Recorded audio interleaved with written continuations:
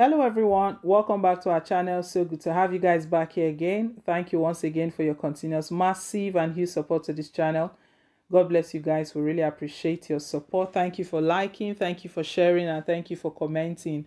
And then we pray that even as you support this channel, God Almighty will support you in whatsoever you lay your hands to do. In Jesus' name, amen. Thank you once again, my beautiful people. Yesterday uh, um, was the election, by elections, um, um, senatorial by elections across the country in different states. Some were peaceful, um, some uh, had uh, a bit of violence here and there. But the news we're getting this morning is that INEC has declared um, some of the election inconclusive and has decided to reconduct the election quite um, surprising. And the reason they have for that um, is something of really, um, it's a shocking one because two ad hoc staffs got missing. Wow, unbelievable. What must have happened to them?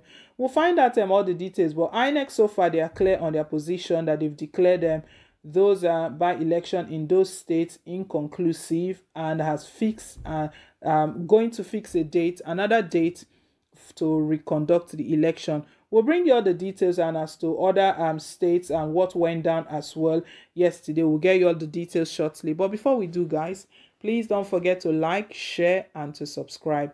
Thank you once again. Yes, we'll get into the news now and grab all of the details. The Bakura local government area of the assembly by-election in Zamfara state has been declared inconclusive by the Independent Electoral Commission INEC even as two ad hoc staff of the commission were declared missing in the state. As at the time of filing this report, their whereabouts was still unknown as disclosed by the INEC in the state. The returning officer for the by-election, Professor Ibrahim Magawata, who addressed newsmen in the early hours of Sunday, said the election result of some polling units in Bakura ward has been cancelled. According to the professor, Magwatu, those cancelled polling units have a total number of 11,429 votes. The PDP candidate Alaji Ibrahim Tunde has scored a total number of 18,645 votes, while the APC candidate Alaji Bello Dankate Gamji scored 16,464 votes so far in the by-election conducted on Saturday in the state. It was gathered that a new date will be announced to conclude the inconclusive by-election in the state. Wow, politicians and um, all of the election malpractice and everything going on. Um, INEC have declared um, this election inconclusive.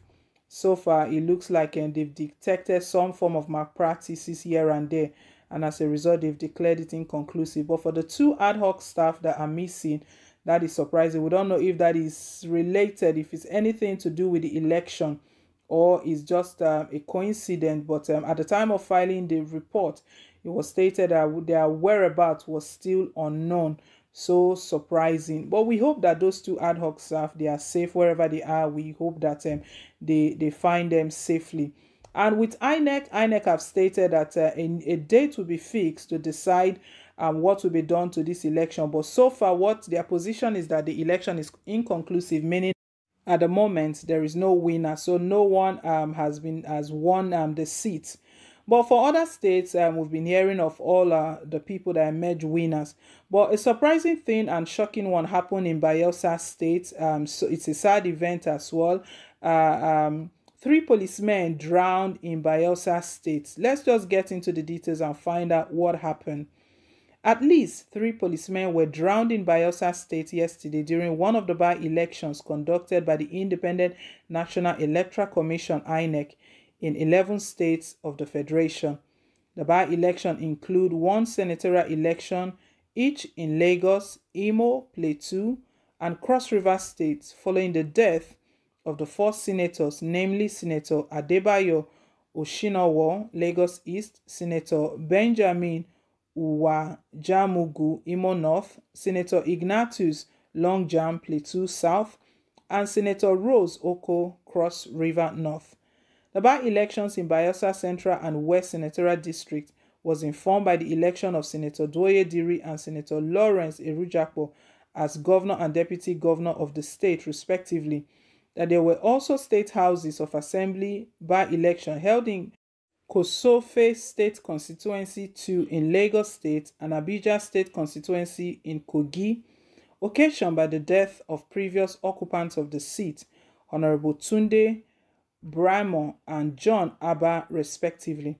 However, there was largely voter apathy yesterday in the affected state in Lagos East election which took place in the five local government areas of Shomolu, Kosofe, Ikorodu, Ibeju, Lekki, and Ekpe.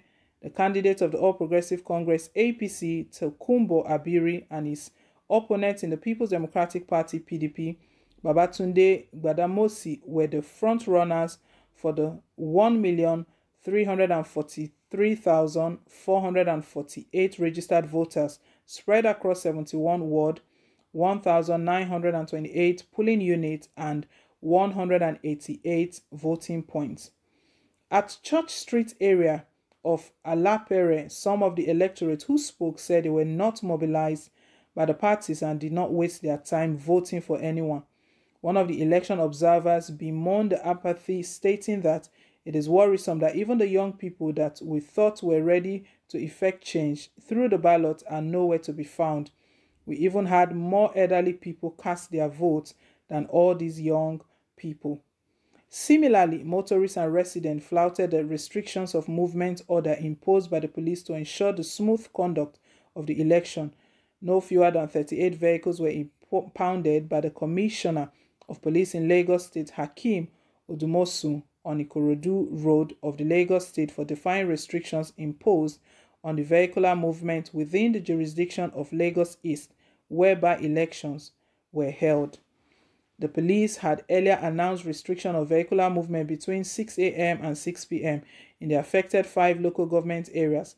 Speaking on the election, Vice Chairman All Progressive Congress APC Lagos East Senatorial District and Chairman of the party's campaign council Asipa Olusayan said the election was peaceful, orderly, and without any form of coercion or intimidation.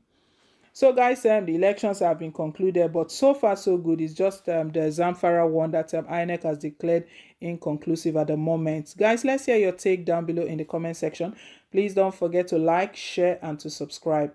Till I come your way again with more updates. Bye for now, and God bless.